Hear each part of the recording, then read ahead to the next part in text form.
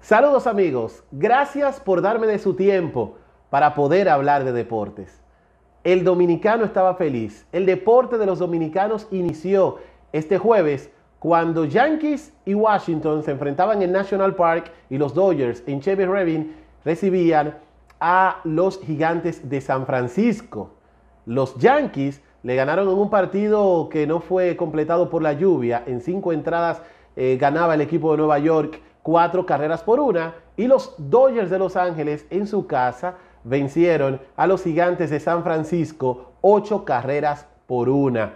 Una jornada que inició lamentablemente restándole a toda esa alegría que tenía el pueblo dominicano por la llegada del béisbol y es que a las 2 de la tarde se daba a conocer que Juan Soto salió en la prueba del COVID-19 positivo el dominicano se perdió el partido inaugural con los nacionales de Washington. Decía en medio del encuentro entre Washington y Yankees, el dirigente Dave Martínez, que Juan Soto recibió la información el jueves en la mañana y que él le dijo, tranquilo, la temporada aún empieza, empieza, recupérate y vienes ya a unirte al conjunto.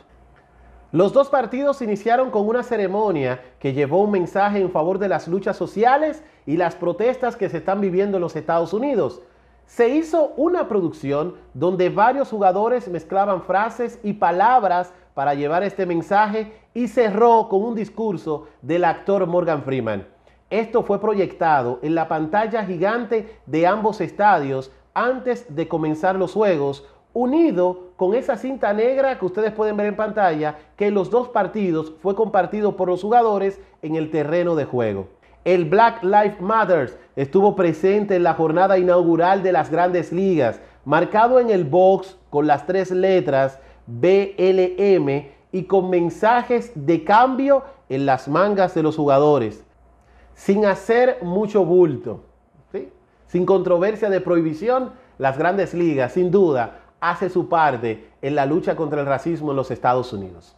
Cosas interesantes durante estos dos partidos en la jornada inaugural. En Washington, el doctor Anthony Fauci hizo el lanzamiento de la primera bola. Él es el encargado de epidemiología en los Estados Unidos y el doctor estuvo presente, ¿verdad?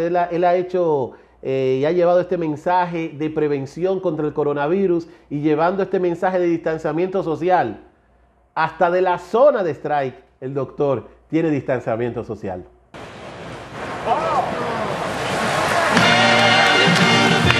Se pronosticaba lluvia para el inicio del encuentro de Yankees y Nacionales y en el sexto llegó esta invitada, invitada no deseada. Se esperó aproximadamente por hora y media hasta que se decidió lamentablemente que el partido no podía continuar y como estaba en la parte alta del sexto, era un partido oficial y se declaró a los Yankees ganador del mismo.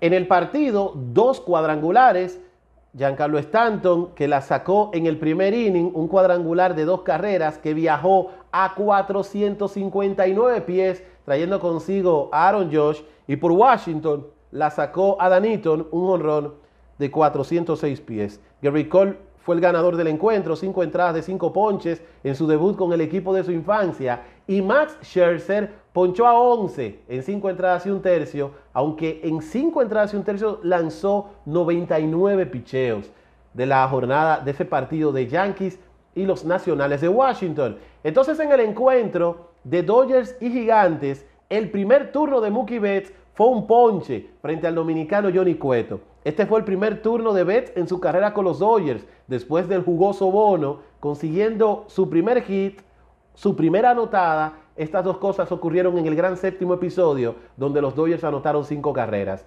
El héroe sin duda del partido fue Kike Hernández, que remolcó cinco, bateando de 5-4, jonrón y dos anotadas.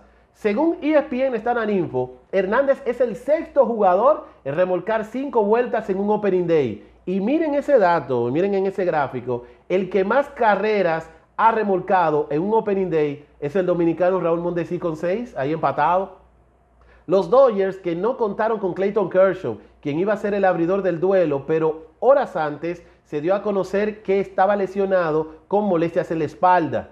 El lanzador en abrir el partido fue Dustin May, quien se convirtió en el primer novato en hacerlo desde que lo hizo Fernando Valenzuela en 1981. Pero la noticia agradable para los dominicanos es el regreso de Johnny Cueto, regresando de una operación Tommy John. Lanzó cuatro entradas de cinco hits, una carrera, un boleto y tres ponches. Realizó 63 picheos, de los cuales 35 fueron strikes. Sin duda es una buena labor para el dominicano en su regreso al terreno de juego. Lo vi combinando muy bien sus lanzamientos eh, quizás inició un poquito, no sé, ansioso. Dos lanzamientos, dos bolas. Digo, es un veterano, el lanzador dominicano Johnny Cueto, que pudo retirar a los bateadores, tres bateadores en ese primer inning. Se vio un poco cansado en el cuarto episodio, pero imagínense, es una salida. Recuerden que es una temporada especial, no se trabajaron como siempre o no se prepararon como siempre los lanzadores para este año, una temporada de 60 juegos, y hay que ir despacio. También el lanzador Dustin May, aunque también es un caso especial porque May eh, no era el abridor de ese partido, también trabajó en cuatro entradas. Pero de verdad que vi muy bien al dominicano Johnny Cueto. Recuerden que hay tres lanzadores pautados para abrir partidos de Opening Day por sus equipos en grandes ligas, incluyendo a Johnny Cueto. Restan dos que en el día de hoy lo estarán haciendo. Sandy Alcántara de los Marlins, que abrirá frente a Filadelfia en Filadelfia en el partido que será este viernes en la noche a las 7 y a las 10 de la noche también este viernes el de los Atléticos de Oakland y de los Leones del Escogido acá, Frankie Montaz, estará enfrentando a los Angelinos de Anaheim en Oakland, o sea que será de los tres el único que abrirá en casa. Muchísimas gracias por su tiempo y poder hablar de béisbol con todos ustedes, hablar de deportes. Recuerden seguirme en mis redes sociales, Manuel Acevedo Díaz es mi canal de YouTube, en Instagram, Manuel Acevedo Díaz, en Facebook, Manuel Acevedo Díaz y en Twitter, Manuel Acevedo D. Placer hablar de deportes con todos ustedes.